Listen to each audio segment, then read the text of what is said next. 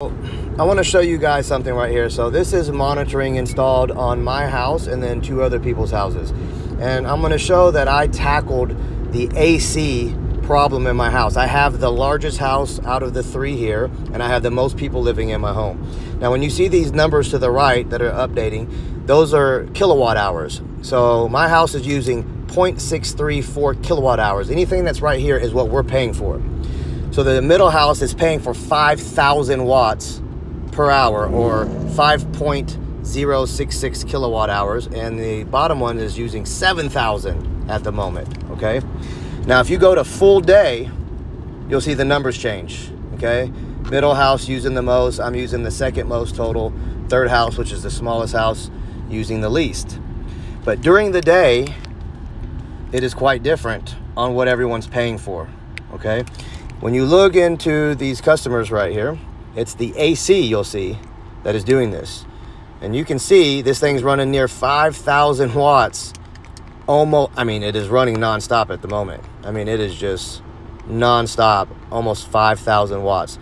This home is not efficiently handling this. We have this heat dome and high heat index, right? And it's the same thing with the bottom, except he also has a heat, a water heater thing that's going on. So this water heater or furnace or something is coming on pretty crazily.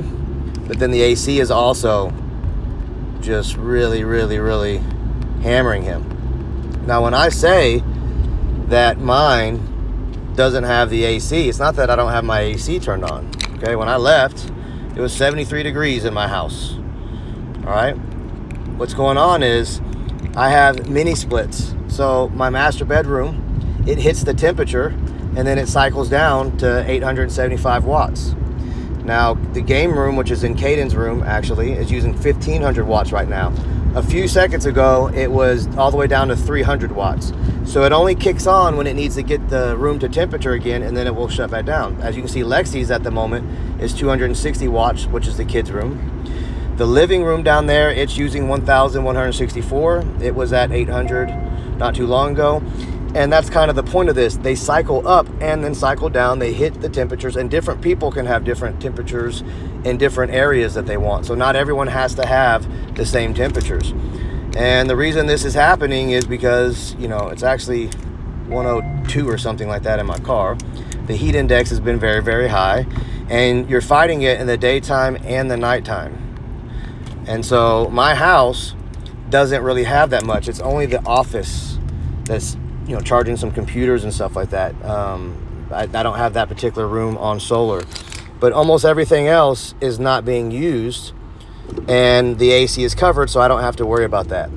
So, solving your home as a complete problem, looking at your efficiencies, how your AC is handling the heat, if you have thermal leaks or anything like that. My house is very insulated, and I went through and added additional insulation by using thermal imaging to find these thermal leaks that were coming out of my attic, coming through doors, uh, even my attic, I mean my garage doors. Whenever I insulated it properly, I can cool my house off easier in zone controlled, easier to manage methods with my solar panel system right? And then I can circulate that cool air with the fans in the house. And that's why, even though I have the largest house, I have the lowest utility cost. So I thought that was cool. Just wanted to show y'all how that worked with real side by side monitoring like that.